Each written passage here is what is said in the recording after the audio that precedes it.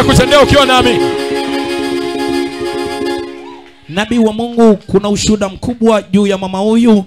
Anasema ibada ya jumanne ulitabiri kwamba kuna mtu ambaye amewekewa pamba za kichawi kwenye masikio yake. Ahe. na alikuwa sikii kabisa. Sawa. Ndiyo mama huyu. Okay. Amekuja kumshuhudia mungu. Ehe, anasema anasema ni kweli alikuwa na hizo pamba za kichawi kwenye masikio. Na alikuwa sikii kabisa ila tu baada ya kuombewa hiyo ibada ya jumanne. Leo jumapili amerudi anasema anasikia kabisa na anakuja kumshuhudia yesu. Umetenda mema. Hey, yesu ndio maana mimi ninakutukuza. Umetenda mema. Baba yangu ndio maana mimi ninakutukuza. Umetenda mema Ah, ngoja hivi jambo limenigusa sogea sogea unasikia vizuri kabisa Jamani, Bwana Yesu asifiwe. amen Napenda kumshukuru Mwenyezi Mungu na jina la Bwana libarikiwe. ndio Nilikuwaga na imani ndogo sana mm. na sikuamini kwamba eti kwa ma, kupitia maombi mtu unaweza ukapata uponyaji.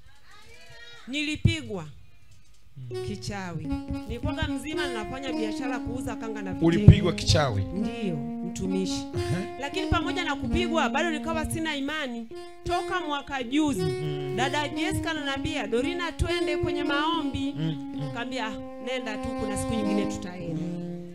Nikapigwa, mtoto wangu akatoroka shule akiwa form 2 alikuwa anasoma Nundu sekondari. Mm -hmm. Mtumishi nimemtafuta mtoto mpaka nikachanganyikiwa. mm.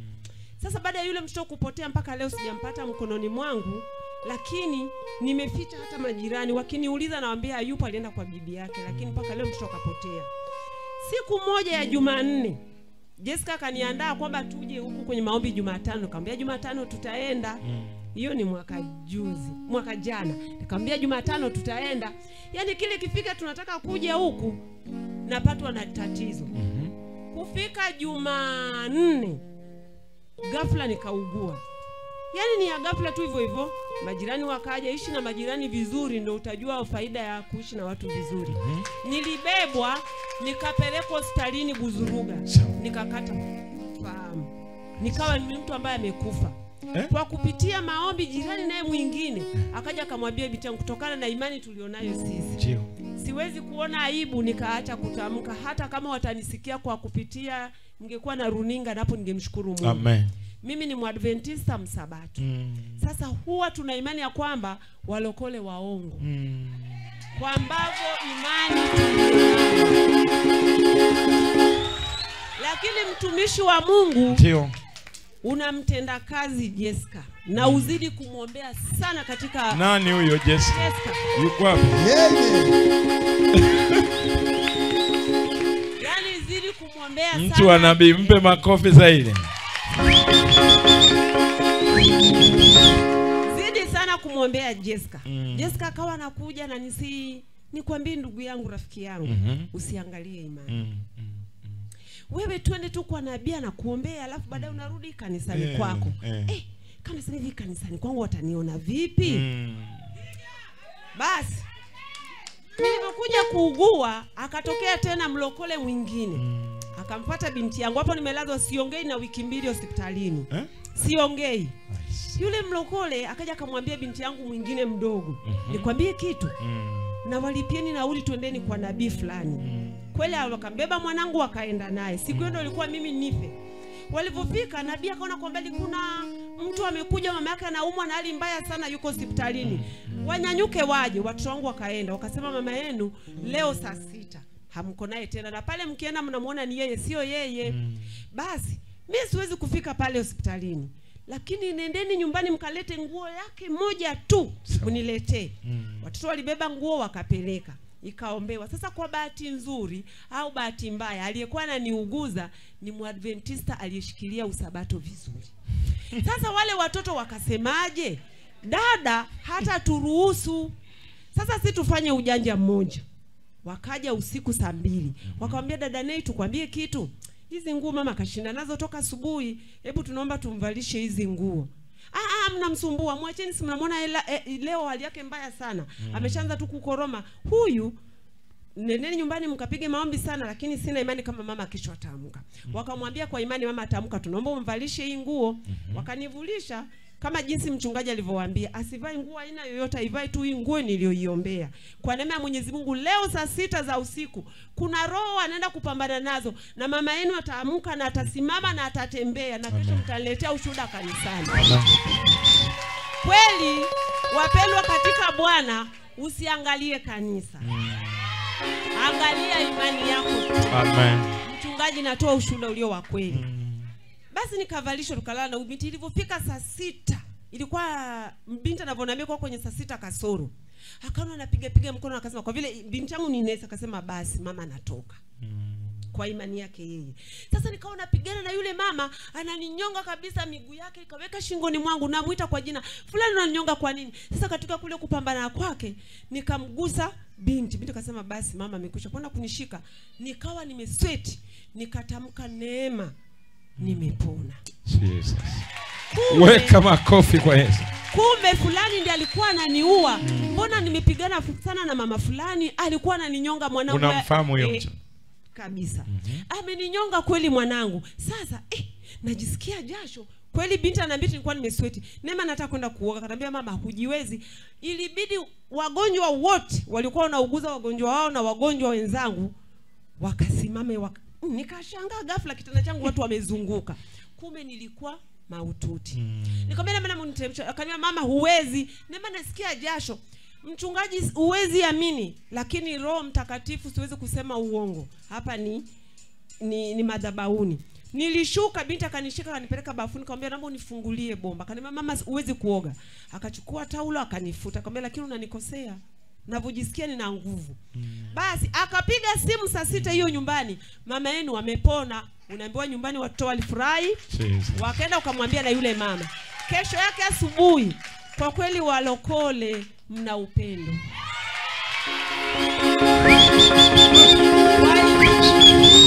Weka makofi. Kuna mtu hana Amen. wewe. na nina- na ninatoa ushuhuda maana ushuhuda unaongeza kiwango cha imani Yes. na yamkini kutoa kwangu ushuhuda na mwingine naye pia vile kiwango chake cha imani kikaongezeka. Basi yule mama alivyopata taarifa alirudi kanisani akaenda akamwambia mchungaji.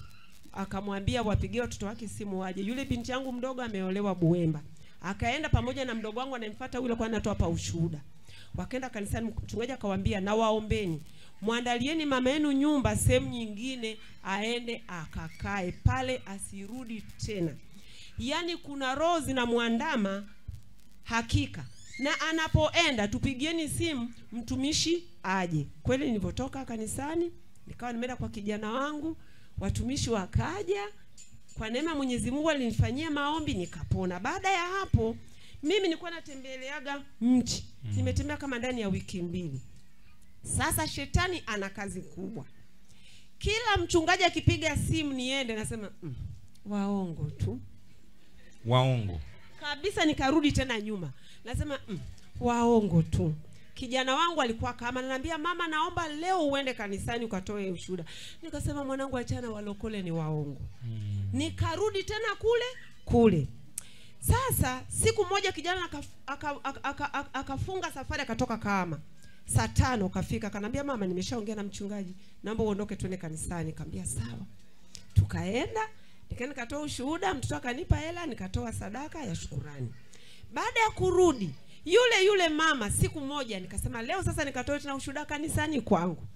Ile naondoka hivi nafika karibu na kwa Jessica yule mama kanionea kwa kule mbali.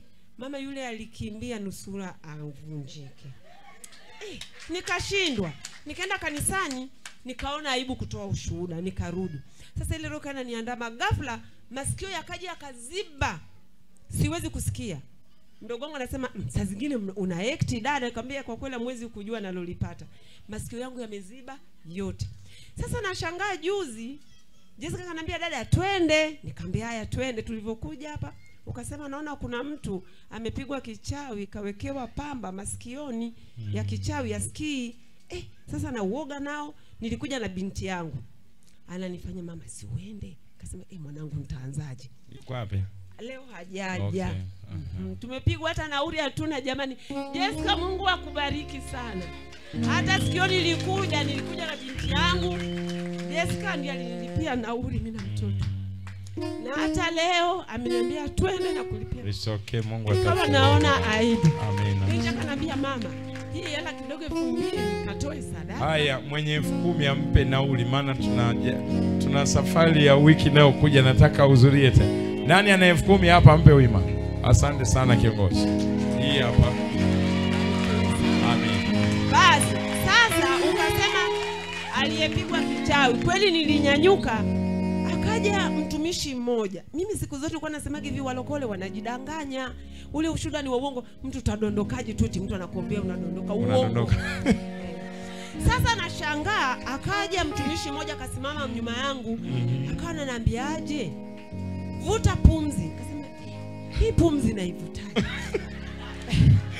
vuta pumzi.